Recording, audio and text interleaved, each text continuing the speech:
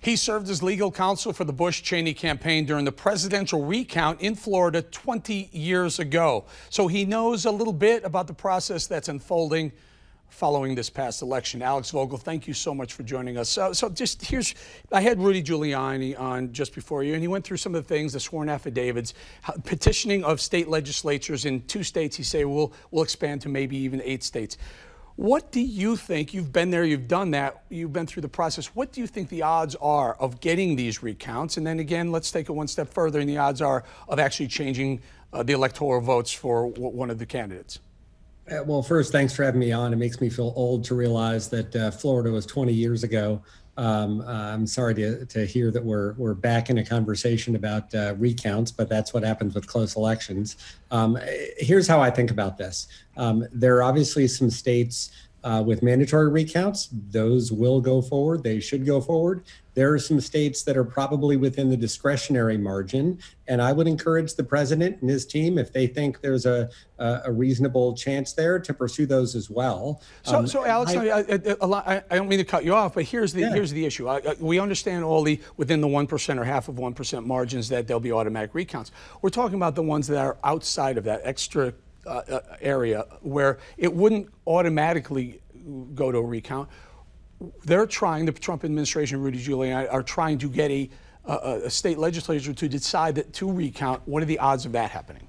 I think they're very low. Uh, historically, that doesn't happen. Uh, states have pre existing recount procedures uh, that are usually followed. Very unlikely that the state legislatures uh, or, or, others are going to step in uh, and set up new recount standards now. The larger issue is at margins of 10, 20, 40,000 votes, while these states were incredibly close, they're all outside of what I and uh, every. Even uh, with even with some of the irregularities that, that are popping up with a bunch of ballots being all you know filled out for one candidate, even with some of those things that they're uh, alleging on, on the right on, on the Trump campaign?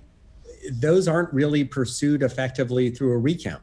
Um, the campaign can absolutely go to court and say, hey, there's a problem with the voter rolls, a bunch of dead people voted, uh, the, there's problems with timing in terms of when the ballots were counted. All of those arguments have, if they have the evidence to support them, are potentially impactful. The question is whether they uh, a whether they they prevail factually and then b whether that represents a large enough universe uh, to change any of the outcomes here. Well let me ask you that. A large enough universe so so they'll take it on a per ballot ballot by ballot case rather than if they see a lot of irregularities in a state demand a recount through the courts and you're saying rather than that they'll they'll go kind of what they were doing with you for a long time in 2000 looking at each ballot remember hanging chads and, and whatnot I, I do. Uh, even if the campaign comes forward and shows that, you know, I'm just uh, using this as an example, says, hey, look, 2,000 people in a state of 4 million voters uh, appear to have been deceased. That's not likely from a remedy perspective uh, to have a court issue an entirely new election or recount. It could certainly uh, knock out those votes. And then the question is, from a prosecutorial perspective, who did that and,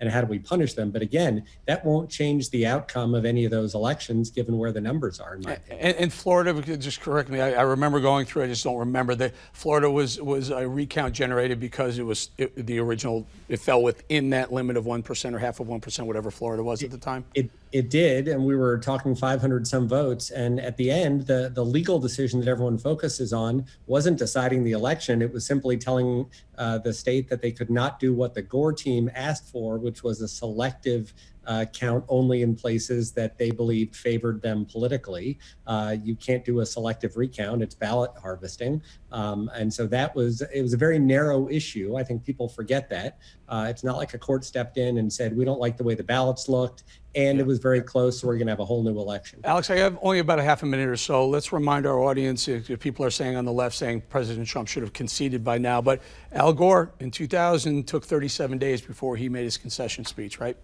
he did, and and the American people understood and respected the important issues at stake here, uh, and we should absolutely be patient during this recount process, uh, and then we'll see what uh, what happens with the court decision. Final question: Any any state's going to flip, in your opinion? Just just take a shot, take an opinion if you want. Any state's going to flip this time around? it is certainly possible that any one of these states that's down below 10,000 votes, you could see a change. Again, hard to see that flipping the outcome even in one of those states, but certainly within the realm of the possible. Alex Vogel, thank you for your time. Thank you.